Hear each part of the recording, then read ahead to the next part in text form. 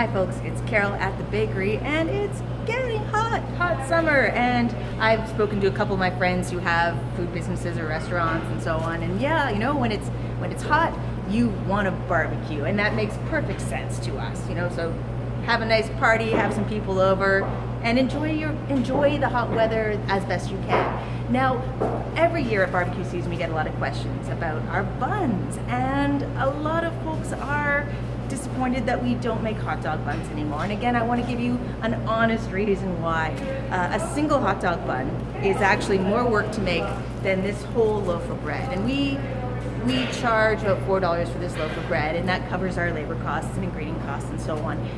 But a single hot dog bun, if it actually is more work to for us than this whole loaf of bread, what can we charge for a single hot dog bun? It's it's just it became too difficult for us to, to keep up with the demand and charge a price that was win-win for both you and for us. So, um, unfortunately, we don't sell hot dog buns anymore, but I have a trick, a, a solution that might work for you. So, check it out. All right. So this this is a bap, and uh, I guess you know it's like a British thing, a Scottish thing. I don't know. A lot of people call it a bap.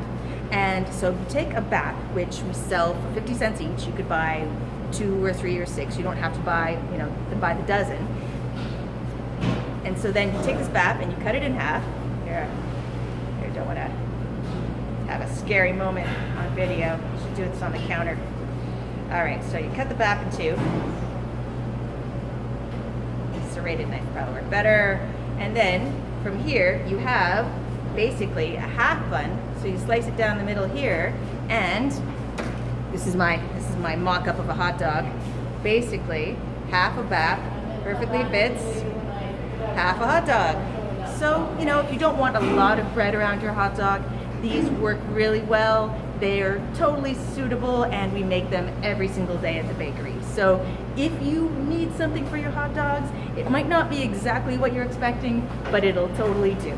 So I want to thank Jackie Taylor for showing me the bap trick when she came in one day because I thought, brilliant, we still can fit that need. So thanks for your support. Thanks for coming in and remembering us on hot days because it does really slow down on hot days because you're barbecuing, which is the perfect thing you should be doing. And what is a better accompaniment for a family barbecue than a pie? And if you remember, our apple pies, we peel and slice the apples in-house for our apple pies every single batch.